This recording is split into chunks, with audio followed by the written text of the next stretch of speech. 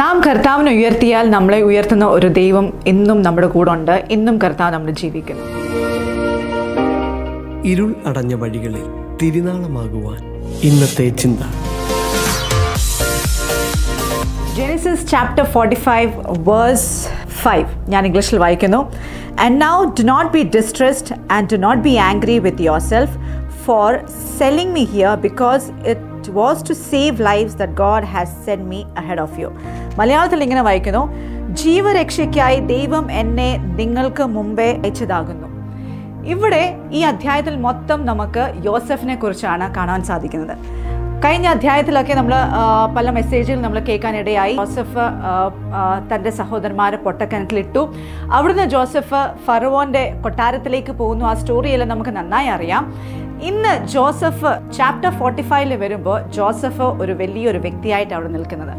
ജോസഫിനെ കാണാനായിട്ട് തന്റെ സഹോദരന്മാർ കടന്നു വരുന്നു. ജോസഫിന് സഹോദരന്മാരെ കണ്ടപ്പോൾ മനസ്സിലായി. പക്ഷേ the brothers didn't identify Joseph. ജോസഫിനെ സ്വന്തം ബ്രദേഴ്സ് ഐഡന്റിഫൈ ചെയ്യാൻ സാധിച്ചില്ല.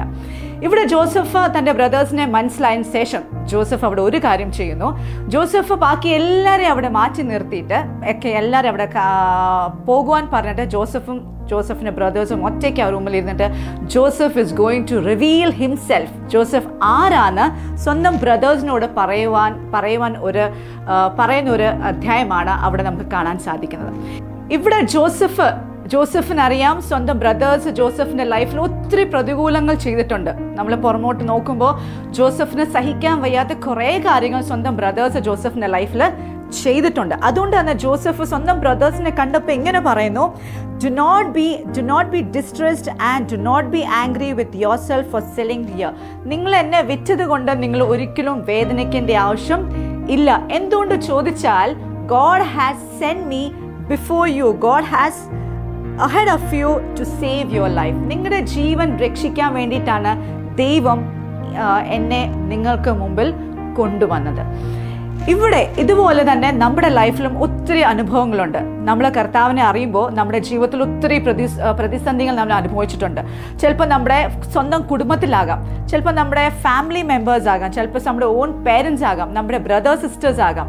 They torturing a lot of ഒത്തിരി നമ്മൾ ടോർച്ചറിങ് നമ്മുടെ ലൈഫിൽ നമ്മൾ കർത്താവിനെ അറിഞ്ഞതുകൊണ്ട് ഒത്തിരി ടോർച്ചറിങ് നമ്മൾ അനുഭവിച്ചിട്ടുണ്ട്. പക്ഷേ ഇവരോടൊന്നും ജോസഫ് പറഞ്ഞതുപോലെ ഡോൺ ബി ആംഗ്രി എനിക്ക് നിങ്ങളോട് ഒരു ദേഷ്യവുമില്ല. നമ്മൾ ഇവരോട് ഒരു ദേഷ്യവും വെക്കേണ്ട ആവശ്യമില്ല. എന്തുകൊണ്ട് ചോദിച്ചാൽ നമ്മൾ ഇന്ന് കർത്താവിനെ അറിയുന്നു പക്ഷെ അവരെ ജീവൻ രക്ഷിക്കാൻ വേണ്ടിയിട്ടാണ് രക്ഷിക്കാൻ വേണ്ടിയിട്ടാണ് കർത്താവ് നമ്മളെ കൊണ്ടുവന്നത്. സോ ആ duty is to pray for them അവർക്ക് വേണ്ടി പ്രാർത്ഥിക്കുക അവരെ ജീവൻ രക്ഷിക്കാൻ വേണ്ടിയിട്ടാണ് ദൈവം ഇത്രയും പ്രതിസന്ധികൾ അല്ലെങ്കിൽ ഇത്രയും പ്രതികൂലത്തിൽ നടുവിൽ ദൈവം നമ്മളെ വിളിച്ച് വേർതിരിച്ചത്. അപ്പോൾ എന്നെ കേൾക്കുന്ന സഹോദരന്മാരെ സഹോദരിമാരെ എനിക്ക് നിങ്ങളോട് ഒന്ന് പറയാനുള്ളത് നമ്മുടെ ജീവിതത്തിൽ നമുക്ക് പ്രതികൂലമായി നിൽക്കുന്ന അനേകരുണ്ട്. ഒത്തിരി പേരുണ്ട്. ചിലപ്പോൾ നമ്മുടെ മാതാപിതാക്കളായിരിക്കാം ഞങ്ങളുടെ നമ്മുടെ കുടുംബക്കാരായിരിക്കാം നമ്മുടെ ഫ്രണ്ട്സ് ആയിരിക്കാം. ചിലപ്പോൾ നമ്മൾ ഒരിക്കലും പ്രതീക്ഷിക്കാത്ത വ്യക്തികളായിരിക്കാം നമുക്ക് പ്രതികൂലമായി നിൽക്കുന്നത്.